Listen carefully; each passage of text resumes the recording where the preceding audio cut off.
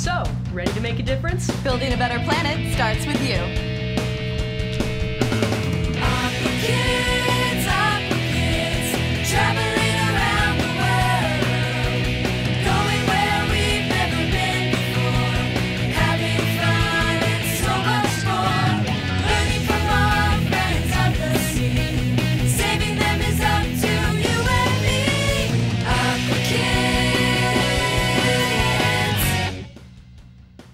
Everybody, welcome to another great episode of Aqua Kids. I'm Rachel. And I'm Drew, and today we're at the Fakahatchee Strand Preserve State Park in Copeland, Florida. We're going to find out what makes this swamp such a crucial ecosystem and explore the plants and animals that live here. All right, well, let's go into the swamp and see what we can find. Sounds good, after you. All right.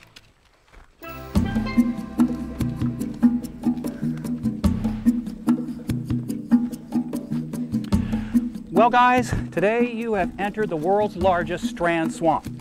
We call it the Fakahatchee Strand Preserve State Park. What makes it a strand? Well, strand swamps are basically elongated channels or very shallow valleys in the limestone. They've been eroded by carbonic acid and rainfall over thousands of years. Makes these valleys, and they're filled with organic leaves, so they call it muck. It's a sponge-filled valley. Huh. huh.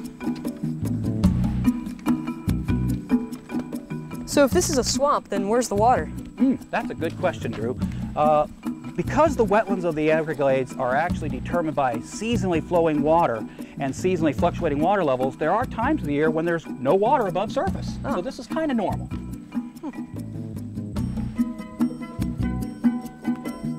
So Mike, what is the purpose of the swamp?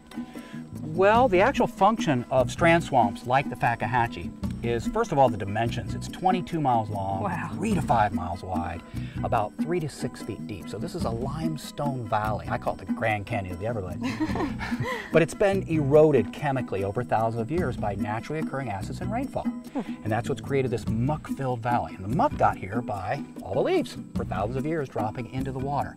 The leaves don't decompose very quickly because they're underwater. And that prevents the oxygen and the bacteria and the protozoa from decomposing them very rapidly. So we're walking on top of a three to six foot deep sponge-filled limestone valley. Wow, must have taken a long time. yes, So you keep saying muck. Is that the actual scientific name? that's the actual term. It's organic soil that took thousands of years. It's just leaves that have been falling into the water over the past few centuries.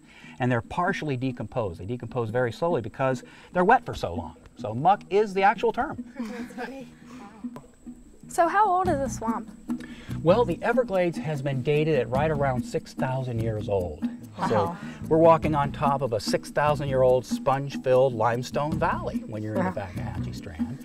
And another key function of the Everglades is what we call seasonally fluctuating water levels. Hmm. And all that means is by about September or early October, the water reaches its maximum depth. And you can kind of tell where the lichens start and the sponges end, right about where that mean annual high water is. And right now it's underwater, or the ground, the underground anyway, the water is below ground surface. That happens every year in April, May, first part of June too. So this is normal to have the water go underground seasonally. We're also in a drought. That's also kind of normal too, because the Everglades over the past 6,000 years has definitely seen its share of, dr- of droughts. What happens to all the plants and animals during a drought? Ooh, that is a great question. Well, every year, the Everglades ecosystem undergoes a seasonal drought. Remember, the uh, whole Everglades functions on seasonally fluctuating water levels, peaking around September, October, bottoming out around April, May, early part of June. So the Everglades is kind of dependent upon that seasonal drought. But this year, we're actually undergoing a real drought. It's a little extended or a prolonged period of below average rainfall. But those prolonged droughts can actually be beneficial ecologically. How so? Because a lot of times the trees get started in these deep water systems only during a prolonged drought. The little seedlings that otherwise get drowned out during the high water that's coming in September, where it might get two or three feet deep in these sloughs. So even droughts, though they might be bad for us, can mm-hmm. actually be good or beneficial ecologically. And you said that alligators will actually create a hole like a den in the muck Right. when there's a drought. Right, the gator holes, they, they call the alligator the keeper of the Everglades because the activity of the alligator wallowing out the muck creates a little pond and eventually gets expanded over years and creates a gator hole. And all kinds of fish and crayfish and shrimp can live in there, including frogs and tadpoles. So the gator has his food right there too, but it's a refuge for all these aquatic organisms, including the alligator. So they are the keeper of the Everglades. When we return, we'll scale to new heights with epiphytes.